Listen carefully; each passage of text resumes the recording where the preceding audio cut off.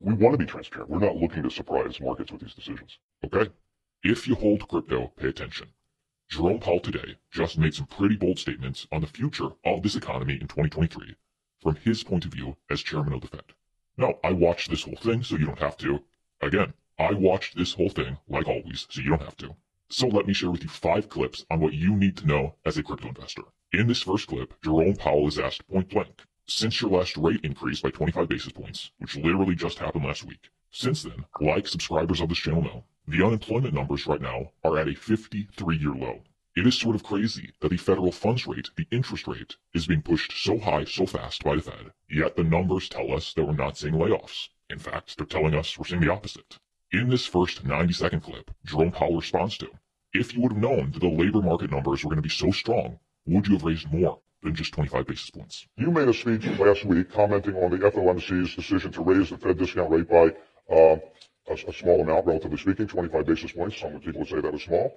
Um, but at the time, it wasn't clear that the jobs report would be as strong as it turned out to be subsequently. Had you known that the jobs report was going to be as strong would you have done 25 basis points or something different? David, thank you for that question. Thank you. thank you for inviting me here today. It's great to be here. Uh, so we don't get to play it that way, unfortunately. We have to, uh, but I'll, I'll, I'll, take it this way. Uh, so the message we were sending at the FOMC meeting last Wednesday was really that um, the disinflationary process, the process of getting inflation down, has begun. And it's begun in the goods sector, which is uh, about a quarter of our economy. But it has a long way to go. These are the very early stages of disinflation. So the services sector really, except for housing services, pardon me, uh, is not really showing any, any disinflation yet. So our message really was this process is likely to take quite a bit of time. Uh, it's not going to be, uh, we don't think, smooth. It's probably going to be bumpy. And so we think that we're going to need to do further rate increases, as we said, and we, we think that we'll need to hold policy at a restricted level for a period of time. Then comes the, uh, the, the uh, labor market report for January. And it's very strong. It's certainly stronger than anyone I know expected. and so, but, but I would say we didn't expect it to be this strong, but I would say it, it kind of shows you why we think that this will be a, a, process that takes a significant period of time. The, the labor market's extraordinarily strong. So Jerome Powell says that yes, of course, hindsight is 2020. It's good that we've started to see the disinflationary process without impact on labor markets. In fact, this was bullish for markets. Bitcoin rises to over $23,000 as Jerome Powell repeats, disinflationary process comment meaning a more dovish outlook than all of 2022, saying that we've started to see a shift. But then he makes clear that because the economy, the labor markets, etc., are so strong, this may be a longer process than anticipated. Now we have one more jobs report coming next month that'll be before the Fed's next meeting. If the unemployment numbers remain trending higher, will that equal a higher set of rate hikes, not just another 25 basis points? you know, we, put, we throw these numbers around, but the reality is we're going to react to the data. So if we continue to get, for example, strong labor market uh, reports or higher higher uh, inflation reports, it may well be the case that we have to do more and raise hikes more than is priced in. So yes, if the unemployment rate continues to trend lower next month, then yes, he could see a future where him and the Fed would then be justified to be able to push the interest rate even higher.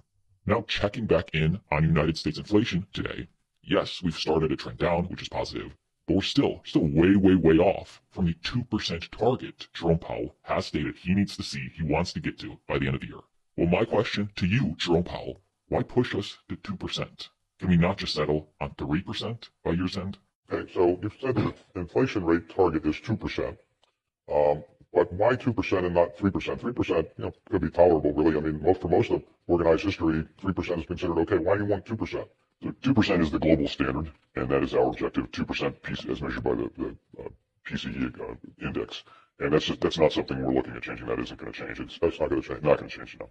But okay, so you need to get to 2%, and your goal to get there is by what period of time would you like to get there? Well, we say we say that we're using our tools to get there over time. If you look at our forecasts, we expect 2023 to be a year of significant declines in inflation, and it's actually our job to make sure that that's the case. But I would tell you that, uh, you know, with inflation, headline, headline uh, PCE inflation is running about 5%. This is on a 12-month basis. Core is running at 4.4. My guess is it will take certainly into not just this year, but next year to get down close to 2%. Okay, so 2% is firm. That's, you're not yes. off that. Yes. Okay.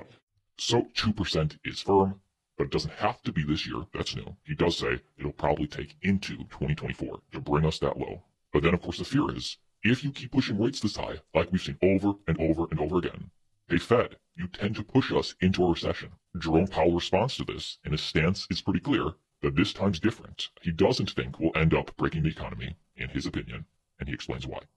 Most most analysts, most economists would say that to get inflation down from high levels that we've had, if you look at history, there is some softening in labor market conditions that goes along with that, and that is still, you know, very possible and indeed likely here. Some softening in labor market conditions. However, this cycle is different from other cycles because of where it came from, and it's just confounded all, all sorts of attempts to predict what it would do.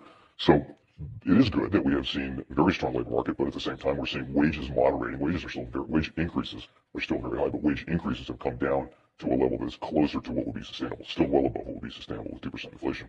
And same thing with inflation. In- in- Inflation is starting to come down, and the labor market hasn't softened. We do expect that it will soften, um, but you know it will do what it will do. Our job is to get inflation down to 2% and preserve maximum employment. So, all in all, of course, you'd say that this cycle will be different. Of course, you'd say, no, we're not going to be pushed into recession. You make your own decision on whether you want to believe it or not.